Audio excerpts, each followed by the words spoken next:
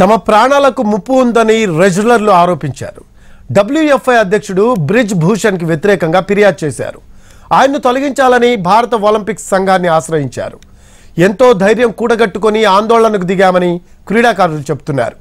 WFI అధ్యక్షుడిని తొలగించకపోతే ఎంతోమంది యువ రెజ్లర్ల కెరీర్లు ఇక్కడితో ముగిసిపోతాయని ఆందోళన వ్యక్తం చేశారు. రెజ్లర్లతో కేంద్రం జరిపిన చర్చలు ఫలించలేదు. దీంతో వరుసగా మూడో రోజు నిరసన కొనసాగిస్తున్నారు. తాము ఎదుర్కొంటున్న ఇబ్బందుల్ని ఒలింపిక్ అసోసియేషన్ దృష్టికి తీసుకెళ్ళారు. నాలుగు డిమాండ్లను అసోసియేషన్ ముందుంచారు. లైంగిక వేధింపుల ఆరోపణలపై దర్యాప్తు జరిపేందుకు తక్షణమే కమిటీ వేయాలని రెజ్లర్లు కోరారు. డబ్ల్యూఎఫ్ఐ అధ్యక్షుడు వెంటనే రాజీనామా చేయాలని భారత రెజ్లింగ్ సమైక్యను రద్దు చేయాలని డిమాండ్ చేశారు. అలాగే డబ్ల్యూఎఫ్ఐ కార్యకలాపాలు కొనసాగించేందుకు రెజ్లర్లను సంప్రదించి ఓ కొత్త కమిటీని ఏర్పాటు చేయాలని కోరారు.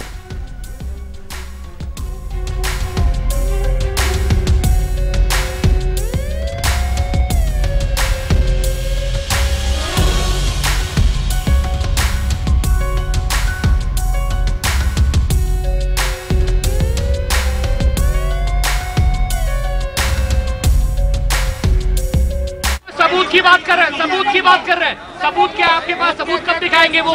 सबूत के लिए पूछ रहे हैं। हम सारे मुद्दे रख रहे हैं। ये अगर सिर्फ़ रेसलिंग की बात होती तो ये क्या पता एक घंटे की मीटिंग में सब सोल्व हो जाता है। ये लड़कियों का मामला है। बहुत बड़ी बात है। एक लड़की का मामला नहीं है। बहुत सारी लड़कियों का मामला है। हम ऐसे ओपनली एक एक को डिस्क्लोज करेंगे उनकी लाइफ को भी डेंजर है उनकी फैमिली को भी डेंजर है बहुत बड़ी बात है ये। पब्लिक के सामने रखना फिर उनको फेस करना। आप पुलिस की मदद क्यों नहीं ले रही है? सर पुलिस की मदद क्यों नहीं ली जा रही है? सवाल ये है तीन मुद्दे तीन मुद्दे कौन से पहला दूसरा तीसरा कौन से हैं? हैं? जैसे कि महिला कोच के मुद्दा पर से सरकार की लेकिन नहीं नहीं देखिए सरकार की बात है हम शुरू से बोल रहे हैं देखा होगा। टोक्यो ओलंपिक्स के बाद में मेरा तो मेडल भी नहीं आया था। मैं रो रही थी। मेरे पे बहुत कुछ एलिगेशन भी लगे थे। तब प्रधानमंत्री जी सामने आए थे। उन्होंने ही बोला था कि आप बेटिंग रहिए आपके लिए और आज आपके सामने अगर मैं खड़ी हूँ तो वो उनकी मेहरबानी मैं बोलूँगी।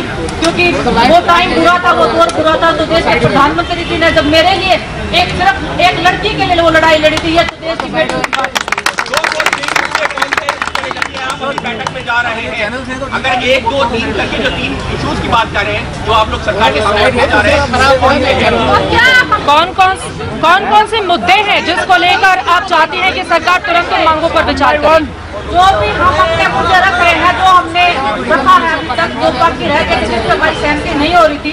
वो हम कोशिश कर रहे हैं कि सहमति हो जाए हो जाए, क्योंकि देखिए, हर एक खिलाड़ी की बात है, सिर्फ़ मेरी बात होती तो मैं बोल देती कि हाँ सर कर हम इतने खिलाड़ी हैं सब एग्री होने चाहिए, सब खुश होने चाहिए वो हम तो डिसीज़न जो खेल मंत्री जी देंगे या जो हमारे देश के प्रधानमंत्री गृह मंत्री जी कर रहे हैं। ओलंपिक संघ पर जो दस्तखत है, उनमें से सिर्फ़ पाँच और छह खिलाड़ियों के ही सिग्नेचर है। आपका कहना है की पूरे